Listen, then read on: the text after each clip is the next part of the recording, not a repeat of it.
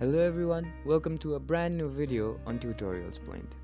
In today's video, I'm going to teach you some easy steps on how you can reset your password on your StockX app. Before we start the video, don't forget to like, share and subscribe to the channel for more such useful tutorials. Without further ado, let's move on to the video. First of all, make sure that you're connected to the internet. After you've made sure that you're connected to the internet, open up the StockX app. Once you're on the home page of the StockX app, on the bottom right corner of your screen, you'll see the profile option. Go ahead and click on it. After the profile page opens up, click on the login option. Once you click on the login option, you'll be directed to another window on your phone.